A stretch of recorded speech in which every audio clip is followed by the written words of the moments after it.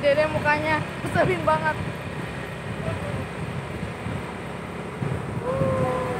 Jalan-jalan. Abang ke pajak Iya, iya, jauh kita liatin banyak angkot